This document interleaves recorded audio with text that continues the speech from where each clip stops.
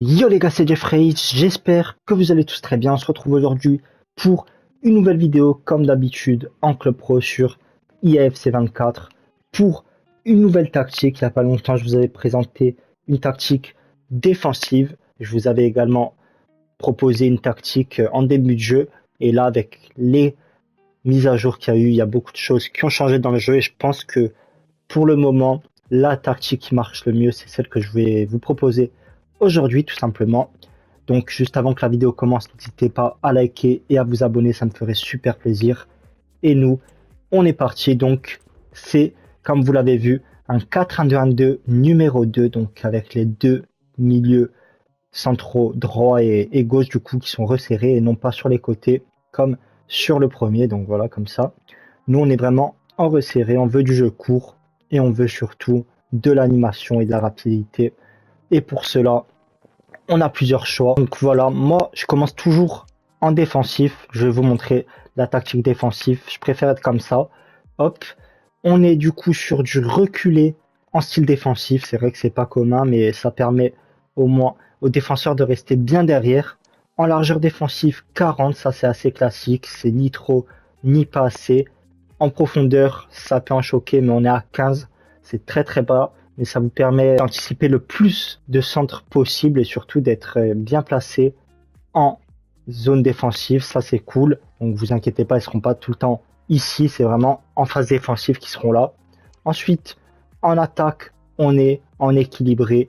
Donc, pas, pas de construction lente, pas de construction rapide. On est vraiment sur un tempo basique.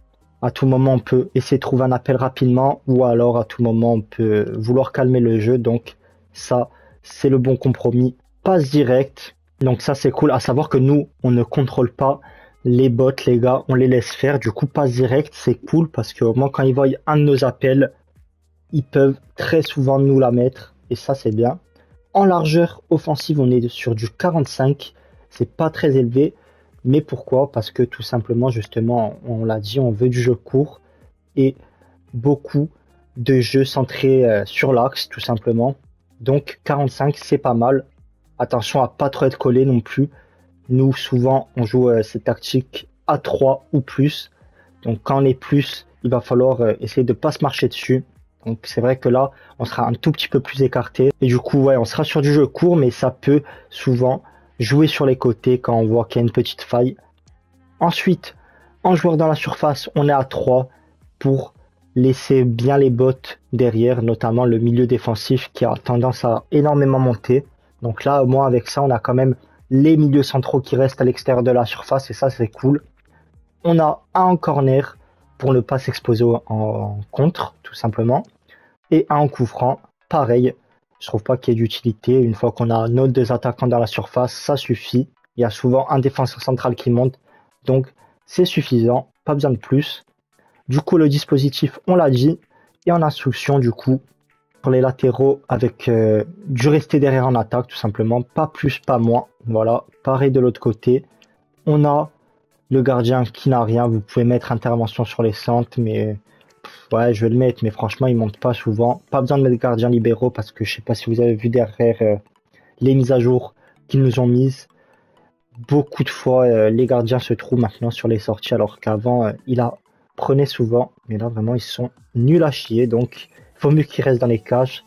Ensuite, rien pour les centraux, on laisse comme c'était. On a rester derrière en attaque et couvrir centre pour le milieu défensif, ça c'est du basique. Les milieux centraux, ils sont souvent contrôlés par nous, mais bon, quand ils ne sont pas, pour le milieu central droit, couvrir elle. Et pour le milieu central gauche, rester aux abords de la surface et couvrir centre. Donc voilà, ça fait un petit compromis entre les deux et ça leur permet de pas faire la même chose. Le milieu offensif, je n'ai rien mis parce que c'est tout le temps moi. Donc pas besoin d'en mettre. Et pour les deux buteurs, les gars, pareil, on met rien. Quasiment tout le temps, euh, ils sont contrôlés par nous-mêmes. Mais si vraiment un jour vous n'avez qu'un seul attaquant, mettez, hop, je cherche ça, je crois que c'est là. Ouais, voilà, position axiale, juste ça, pour garder le positionnement, comme on l'a dit, dans le centre du jeu, parce que c'est ce qu'on veut avec cette compo du jeu court. Jouez beaucoup avec croix, les gars, c'est très important. Vous verrez que vous faciliterez la vie largement et euh, ce sera plus simple et beaucoup plus plaisant également à jouer.